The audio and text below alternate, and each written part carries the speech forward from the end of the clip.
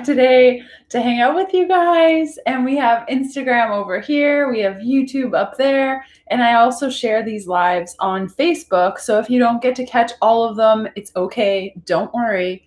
I will post them on Facebook as well. Yeah. Hey, happy Saturday. I never, whoa, what has happened here? I'm such a hot mess every day, but specifically today because I didn't iron my shirt. Because who's got time to iron their shirt on a Saturday? Not happening. Not happening. We have so much boat stuff going on right now. We've had some major setbacks to our project. So we got to deal with that today instead of going for the amazing hike that I planned, which I'm kind of bummed about. Good morning, low carb mom. Hello, Rach, keto Latino. Hey, Nancy. Awesome. I'm so glad we're hanging out. It's so great to have internet and I can just like hang out with you guys whenever I want. It's awesome. Okay, so today I'm going to pin this in our Instagram here. Post, pin, pinning, done we are going to be chatting about keto dinners and snacks and also beverages, but I ran out of room in the title. So beverages is a bonus. If you guys have questions throughout our live, feel free to post them down below and I'll answer them as we go, or I'll wait until the end depending on the question. So um, I did a live on Thursday talking about my favorite breakfasts and lunches. Um, so if you missed that, you can watch it on Facebook or YouTube.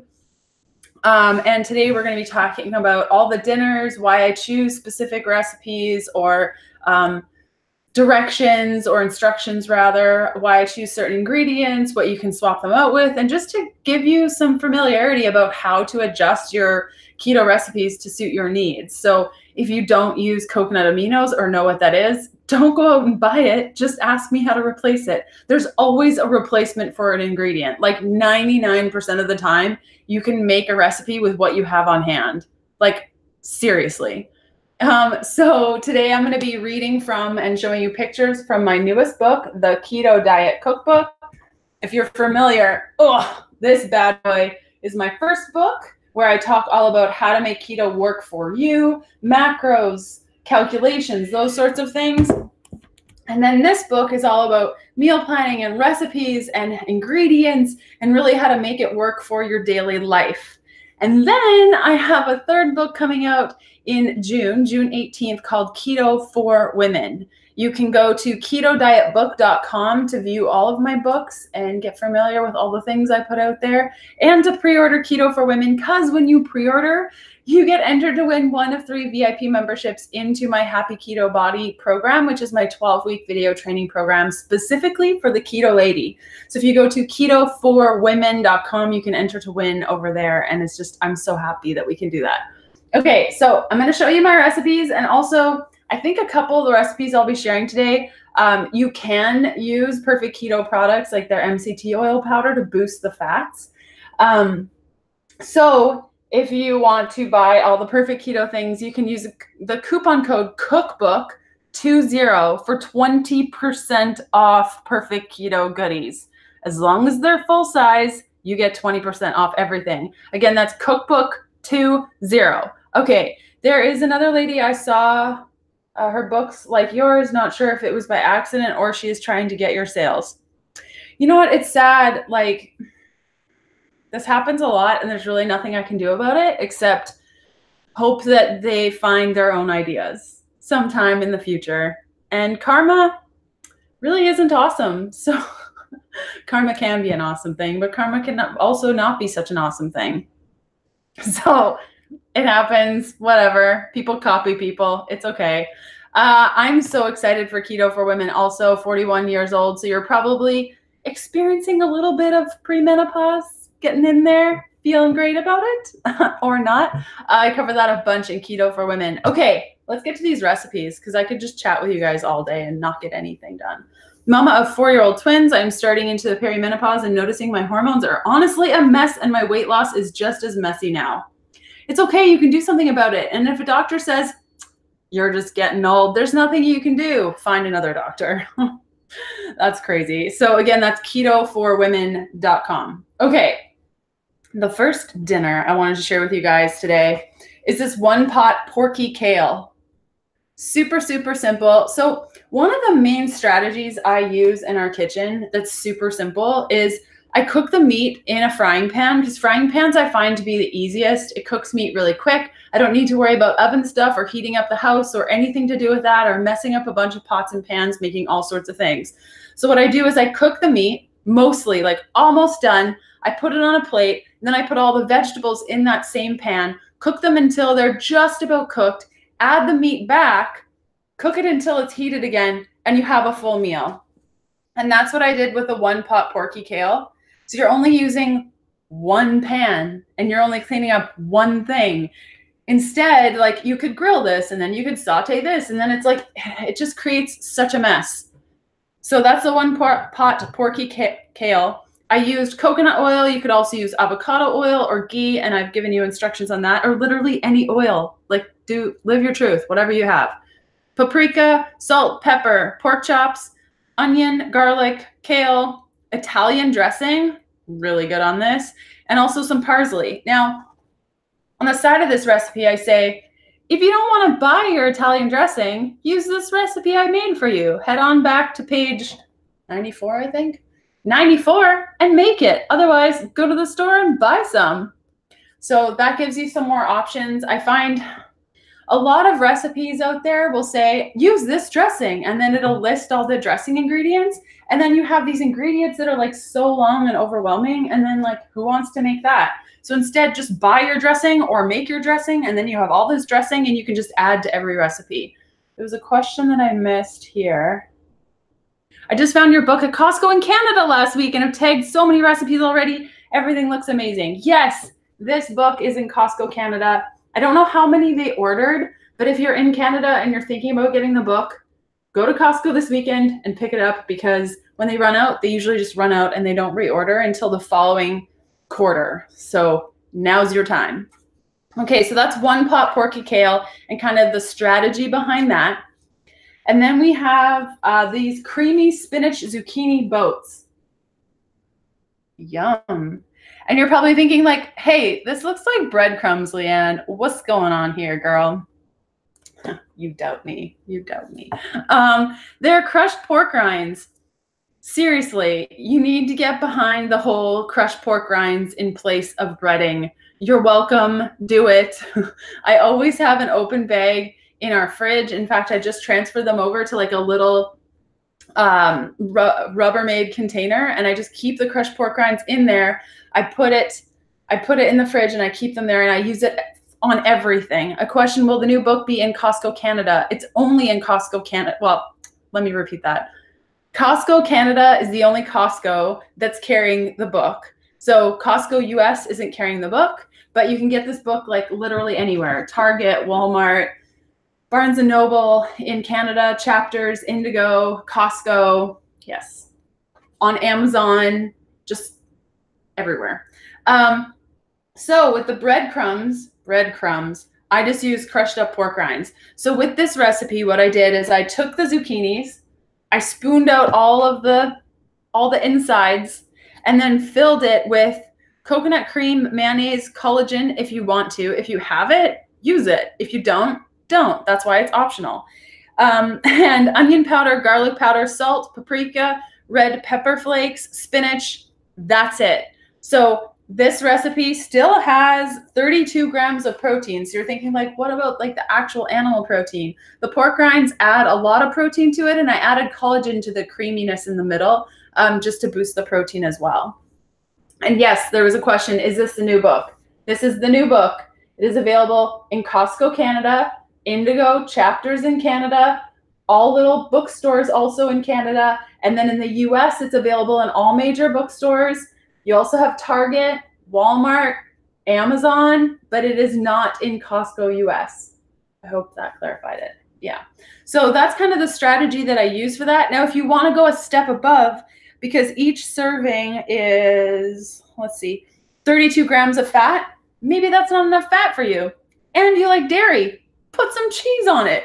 And I explain how to do that in this paragraph right there. So if you have dairy on your ketogenic protocol and you were upset that, put this down, you were upset that, oh, this guy didn't use dairy.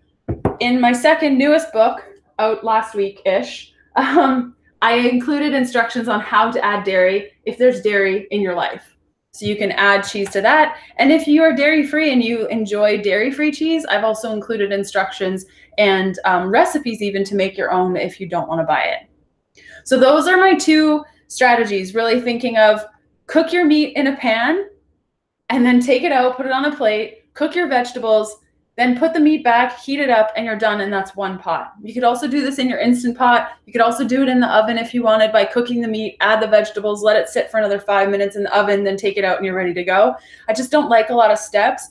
And when I wrote this book, guys, I did it in our boat. Our galley is very small and I didn't have space. Like our, our sink is literally this big. Like it can't even hold a pot. So I had to be very, very wise with what I used, what I didn't. And I think that translates really well with recipes you're not spending a lot of time or wasting a lot of things and getting everything dirty because that drives me crazy. Okay. Ooh, okay. This is such a simple, simple, simple thing, but you will really enjoy it, I promise. Uh, Primal Voyage asks, Am I going to KetoCon? I am not going to KetoCon this year. The reason I'm doing all of these little virtual events for the book is I'm actually not going on a book tour everything with keto for women my newest book coming out and all the travel and the work and all the things and the adjustments we've made to healthful pursuit over the last couple weeks i'm just really busy. And so i thought it would be so much more nourishing for all of us to connect online like this as opposed to me going to individual events this time. Um, okay so this is one of my favorite snacks. This is in the savory snacks chapter in the keto diet cookbook. Any guesses on what this is so simple, guys. Okay, so this is an iceberg lettuce. So you get the lettuce head, the whole head, and you cut it into these little pyramid things, and you dip it in your favorite sauce. And okay, so you might be thinking, like, Leanne, this is just like a deconstructed salad. What's wrong with you? It's so much more fulfilling to like dip things in things than it is just eat a boring salad. I promise you, it's so fun. Kids love it because they're dipping vegetables and things and it's all peeling off and they're all little bits right here. And iceberg holds up pretty well. So you should be able to just hold this, dip it, keep eating it, dip it. It's just a fun new way of looking at salad. One of my favorite snacks. I enjoy it. Now, really, there's two ingredients to this recipe, and it's iceberg lettuce and ranch dressing. You can make your own, or you can buy it. And so in this little box right here, I explain what recipe I use to make my own. And you can go to page 76, make your own ranch dressing or not. And there is a vegan version um, and a non-vegan version or egg-free, I should say. Okay, so that's one of the snack recipes. And then I have another savory snack idea, and that is tapenade. If you haven't had tapenade, you gotta get you gotta get in on this party. You have to make it. If you're an olive, olive lover like me, the time is now. Do it. it's so simple. It doesn't cost a lot of money. And you can really use any olive that you want. But in this recipe, I used black olives, green olives, sun-dried tomatoes, and oil. You can get, uh, actually, Prime has a really great deal on sun-dried tomatoes and oil. It's a little container like this. I think I bought mine for $1.99 each. And they come in the oil. And then I also used basil leaves, capers, parsley, thyme, oregano, garlic, anchovy for sure, as many as you want, um, olive oil, and celery sticks. You could also use zucchini sticks, um, cucumber sticks, carrot sticks, whatever you'd like. And this not only makes a good like dip, it also makes an awesome spread. So if you've made some like low carb keto bread or you have some leftover chicken put the stuff on there and eat it with cold chicken. Really good. Tapenade, you're welcome. It's so good. Um, now, if you don't, oh, so you know how recipes call for like one anchovy fillet and then you're left with like eight others and you're like, what am I going to do with all these anchovies? My favorite is sauteing zucchini noodles, spiral sliced uh, zucchini in coconut oil with garlic, anchovies, capers, and finely chopped red bell pepper. After cooking for five minutes, add fresh parsley and voila. So if there are recipes where I've called for like one thing and you're left with a whole bunch of other stuff and you're like, what do I do with it? in the little instructions here, like the head note, they call it, I've included instructions of what to do with your leftover anchovies because that is the worst. They end up sitting in your fridge and then you throw them out because you couldn't make that much tapenade in, in, in that short a period of time. Okay, now we get to the most exciting part, probably of the whole book. I, I love this recipe. I make it all the time. It's super simple. Are you ready? Salami chips. Yep. Mm-hmm. They're chips made with salami. Really simple. You just take salami and bake it, turns into chips. So that's really all you need to do for this recipe. But if you want to go a step above, this is a buffalo chicken dip that I love, love to serve with the salami. And I've included instructions on how to do that, including you got to use full fat coconut milk. In the front of the book, I tell you that if you don't like full fat coconut milk, you can use cream, and I show you how to replace it.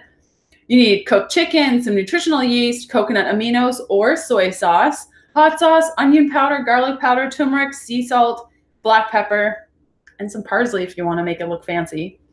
So those are salami chips. You need to make these. They're so tasty. Okay. Now we get into uh, sweet snacks. So oftentimes on your ketogenic diet, you're not going to be making a lot of like fancy desserts because you're a normal person. and so I wanted to make the sweet section of the book more snacks than fancy desserts because when we're on the ketogenic diet, we we usually don't crave a lot of sweet things. And when we do it's like we've just had dinner and we're like oh my gosh i just need like a sweet little something. Not like i feel like spending three hours making a carrot cake tonight. No that's silly.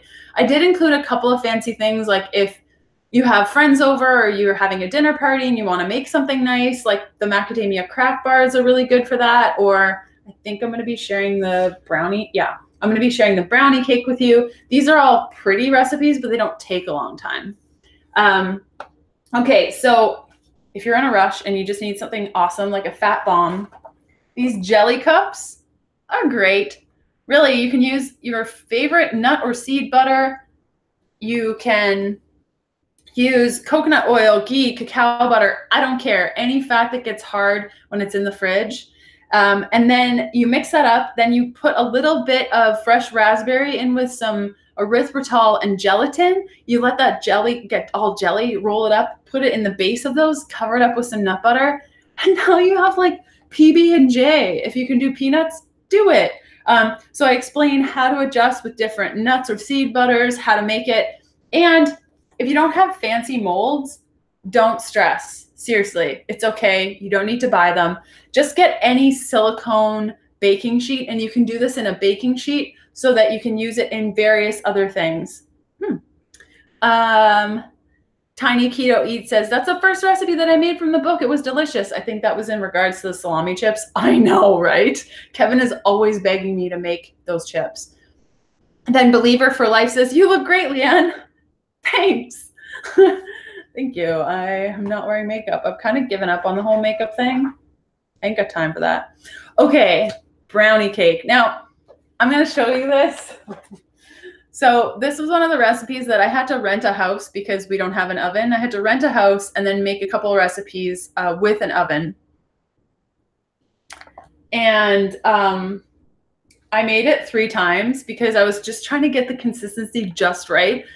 But the first try and the second try were still like very good. So every morning before I cooked for the day, I would have this for breakfast with a cup of almond milk or coconut milk or both and just like chow down on this cake. It is so good. So the sauce for it is liquid at room temperature, sort of. Well, is liquid when you make it because it's made from, I can't even remember.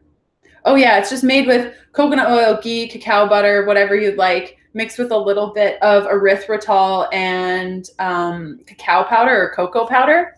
So it's liquid when you make it, and you can just like drizzle it on and perfect. Or when you put it in the fridge, it hardens, and when you take it out, it's like this fudgy consistency. Okay, so if you have friends that are like, keto is so stupid, how could you ever do that? Serve this. Serve it. Yep. Um, let's see. Felicia said, Felicia, sorry. I could live on the fat bomb tea latte. Is that good? uh, to use for intermittent fasting? Um, intermittent fasting, there's two real goals to intermittent fasting. One is insulin, um, insulin resistance. No, you don't have that goal. Uh, insulin regulation, and the other one is autophagy. So with insulin regulation, you can get away with putting fats in your coffee, having some bone broth for your fast, because really you just want to regulate your insulin, and those things shouldn't push it over the edge.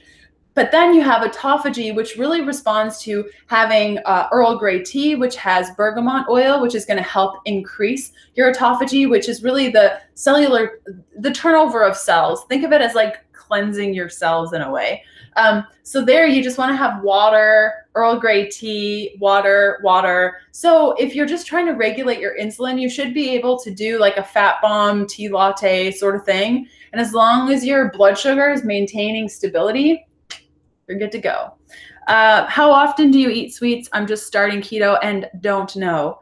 When I first started keto, I was having like a sweet fat bomb every night, like every night. But, you know, being five years into it, I don't really crave sweets like I used to. So maybe, actually, I'll show you this if I can find it in the book because I do outline this in the book. Um, let's see if I can find it. I really got to tag this page because I'm always talking about it.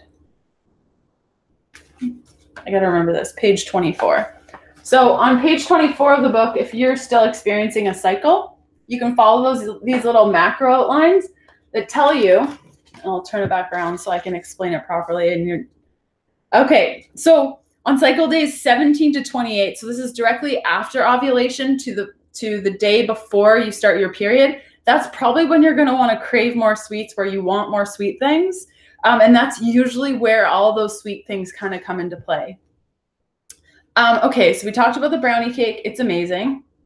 And then the last one I want to share with you, which is sort of like on the sweet side, but also a great beverage and inspired by my one of my favorite shows, Billions. If you've never watched it, you must. This is Chuck Rhoades' favorite drink, an egg cream. And normally an egg cream has like a ton of sugar in it. It's really, really sweet and there's not actual egg in it, which I was surprised. He was talking so much about egg creams in the last season. And I was like, what is this egg cream thing all about? so I did a quick Google search and found it out and then went directly to the to the fridge, got out all the ingredients and started making it. And oh my gosh, these are so good. It's it's almost like a keto fizz if you're familiar with my keto fizz recipe. Let me see if I can find it in here. Um, which is yeah, here. It's similar to a keto fizz.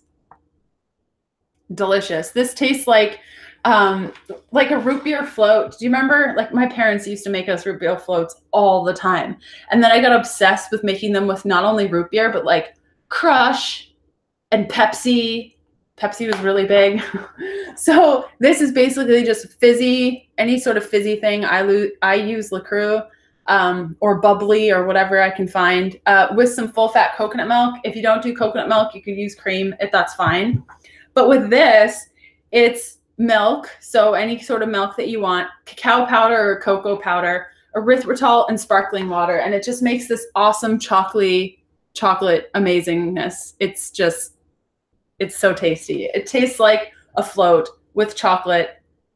It's just good. You're welcome. Um, so those those are some of my favorite recipes from the book. I make them often. They've been in our house for a couple of years. And when I was planning on writing this book, I was like, those recipes need to be in there. Those strategies need to be shared because they're so simple. And I have a feeling like 99.9% of the people that will buy the book will appreciate how easy all this stuff is. And really, guys, it's I think cookbooks are really, really great, but we need to see them for what they are. And that's trying to teach you new strategies, new recipes, and just um, new ways of looking at food. And so I really encourage you, if you do pick up this book, go through a bunch of recipes and see just how easy it is to prepare your own meals. And in the front, I show you how to plan out your meals using a strategy that's not really talked about on keto. And that's more of like a small, medium, large, huge strategy where you assign a rating to each recipe and then you say like if my goal is 1300 calories a day i'm going to have a small a medium and a large recipe and so when i go through the book this guy is a medium recipe, and it says so right here on the side. And this guy oh, is a large recipe, and it says so right there. See? And then, whoops, I just missed a small. And these chili lime bowls are small, and it says so right there. So you can really have fun with this and really get a handle on what you're eating, how to prepare food, how to portion things properly without like sitting with your phone and being like, boop, boop, beep, boop, boop, trying to figure out how many calories this is because it doesn't need to be overly complicated. As long as you're eating high fat, low carb, I, I promise you, it doesn't need to be as complicated as what we're we're being told it is. so I get really jazzed up about this stuff because like out of okay, honesty time, out of this book, oh god, this book is so heavy. And this book, I love my first book for all of the front matter and just the details that you can get from this and just you know how much do nuts cost and how do you weigh those out with a low carb and things but i don't love love the recipes in here they're a little bit more complicated. Um, they call for ingredients that you may not be able to find in your area. And although it has awesome front matter, like I would buy this book if I didn't already own it and it wasn't mine. Um, I would buy this book just for the front matter because that's how thick it is. Now, this is my first book, came out in 2017, and all the information is still relevant. But these recipes in here, like, they're awesome. They're awesome. And I'm a pretty, like I will tell you, uh, you know, if there's something that I don't like about it or anything. Like I love every single recipe in here. Like there's not one where I was like, eh, I guess I'll just put it in there, or I don't think people are gonna like this. So I'm really, really proud of the recipes in this guy. So I'm seeing that a couple of you guys are gonna planning to buy this book. Thank you so, so, so much. Um, there are a bunch of copies in Canada at Chapters, Indigo, Costco, any small bookstore. There'll be books there too. Uh, and then in the U.S., uh, you're going to find it at Barnes and Noble, Target, Walmart, any bookstores there. If they don't carry it, then just ask them to carry it or ask them to order you one. And across the whole globe, you can go on Amazon or any online book retailer and look for this bad boy right here. And if you already have a copy, please, please, please, please, please go to keto ketodietbook.com slash review and leave a review. It can be a really bad review. It can be a really good review. It can be any kind of review that you want. It's just reviewing the book really helps me. And it would just be really, really great if you could do that. Like it, it really, really helps. That way bookstores take me seriously. They order more of the books. They see that people are wanting the books, that they like the books even if it's a bad review, it tells me what I need to change for next time. Um, there was a question. What is the second book called? I have the first one. It's called The Keto Diet Cookbook. And this guy's called The Keto Diet. So, The Keto Diet, The Keto Diet Cookbook. And if you're totally confused and you can't figure out where it is, just search with my name, Leanne Vogel. Little tidbit Vogel means bird there you go. Bet you didn't know that. Or maybe you did. Um, I eat your cinnamon bun muffins almost every single day. I love that recipe. I'm definitely getting it. I didn't see it in my Barnes and Noble last night, but I'm going to look around again to, uh, around town tonight. I prefer local, but there's always Amazon. Heh. Um, yeah, ask them because a lot of the times they can be hidden in places. And I've gone to a lot of Barnes and Nobles and they all have them, but sometimes they're like still in boxes in the back because it just came out. So just ask somebody. Uh, the creamy pesto chicken was awesome, and I'm eating it. A meat bagel right now. Oh, the tapenade and the chimichurri on the meat bagel. Ah, so good. Uh, found mine at Costco. That's awesome. Your muffins are the best ones I have made thus far. Uh, morning from our first camping trip of the season. Oh, that's so exciting. I miss camping so much. Do you use monk fruit sweetener in the new book? I think it's the best. Okay, here's what I think about sweeteners. Totally up to you. So um, I didn't I didn't really outline what sweetener like any cookbook that you get, please, please, please, please, please look at the front matter because most authors will give you whoops, instructions on the ingredients that they chose and how to replace them with what you have.